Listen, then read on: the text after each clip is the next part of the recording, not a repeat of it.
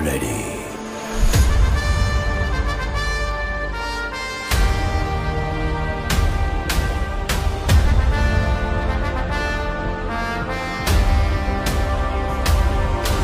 दोस्तों, फ़िलहाल जवान ने इतने टिकट बुकिंग है कि सारे रिकॉर्ड बर्बाद हो गए। तो आपकी जानकारी के लिए बता दे कि जवान नौ लाख साठ हज़ार ऐसी ज़्यादा टिकट बेच चुकी है। वही इसका 26 करोड़ के आसपास कलेक्शन हो चुका है। दोस्तों, वही बात करें साउथ में जवान के कितने टिकट बिक चुके हैं। तो तमिल और तेलुगु से जवान एक लाख टिकट साउथ में टिकट साउथ। वही दोस्तों 26 करोड़ अभी 6 सितंबर तक जवान की कलेक्शन हो चुकी है, जो कि बॉलीवुड और साउथ में अभी तक सबसे ज़्यादा है। दोस्तों, जिस तरह से पठान ने बॉलीवुड को ज़िंदा किया था, वैसे ही जवान फिर से इतिहास रचने वाली है।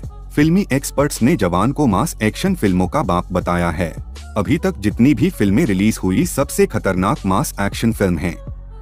की है? दोस्तों, आप अंदाज़ा लगा सकते हैं कि पठान का रिकॉर्ड अब खतरे में है, क्योंकि जवान पठान का भी हज़ार करोड़ का रिकॉर्ड तोड़ देगी। ओवरसीज यानी अमेरिका और दुबई में जवान ने हिस्ट्री बना डाली है। पठान के बाद अब जवान से फिर किंग खान बड़ा धमाका कर रहे हैं। कि एक्शन तो खतरनाक हैं, क्योंकि हॉलीवुड से एक्शन करने वाली टीम को लिया गया है।